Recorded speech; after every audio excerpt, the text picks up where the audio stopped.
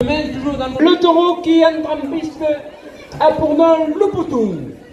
Il appartient à la manade Fonfon Guillerme.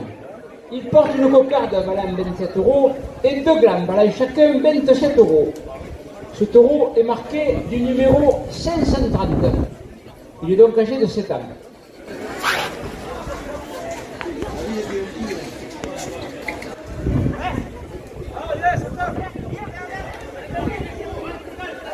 De la cocarde à 100 euros. Immobilier pour vos projets immobiliers, 2 euros de plus. La direction porte la cocarde à 170 euros.